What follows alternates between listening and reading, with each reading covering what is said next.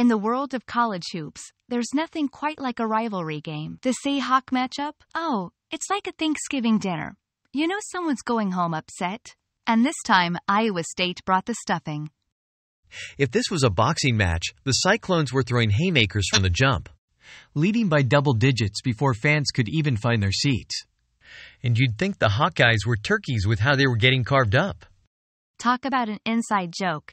Iowa State's forwards were having a laugh. Robert Jones and Tre King played keep away in the paint like it was their personal playground. Scoring was easier for them than finding a chuckle at a clown convention.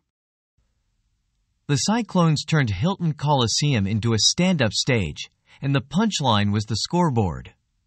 They didn't just beat Iowa, they left them looking like they needed GPS to find the hoop. As the Cyclones sail into their next games, they're not just on a high note.